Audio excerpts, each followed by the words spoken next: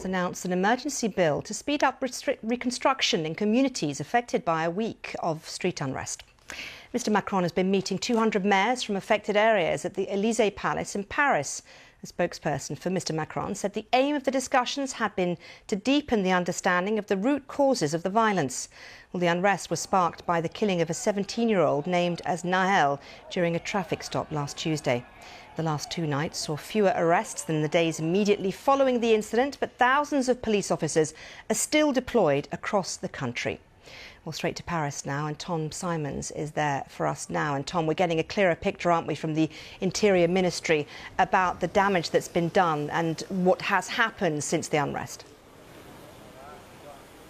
Yeah, quite a lot of movement today. Responses from the French government about this last week of unrest and damage on the streets. Uh, just take a look at these figures 3,500 arrests, 800 police injuries, 269 police stations attacked, 12,000 bin fires uh, set alight on the streets, and 1,100 uh, buildings damaged. So, very serious unrest here. Uh, that luckily has stopped overnight. Very little going on, uh, though some, some arrests still. And we also have, in the last hour or two, uh, something from Emmanuel Macron, the French president, a new emergency bill offered to the mayors of towns affected by uh, the riots of the last week to speed up construction or reconstruction of buildings, street furniture and transport, and also for repairs to roads, municipal establishments and schools. What that doesn't seem to be, it's quite uh, vague on detail, it doesn't seem to be any sort of addressing of the underlying social issues that I think some of the mayors who'd been, been to see Emmanuel Macron at the Elysee Palace behind me that they may have been demanding. For example, massive investment to try and improve the fortunes of some of the banlieues, as they're called, the uh, not very well off suburbs of cities like Paris. And we heard from one mayor as he came out of the meeting. Ali Rabeh represents Trappes, which is a southwestern suburb, which is not a, a well off place, that has suffered very badly from the riots.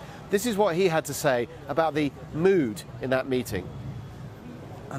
Euh, well, what I saw in there stuck with me. I mean, the audience was 90% male, white. You know, there is a proper lack of diversity. Along with a few others, uh, one could say I'm the exception that proves the rule. Our democracy is sick. We have a democratic problem in France because not all of the layers of society are represented. And that really struck me as I looked around the room today.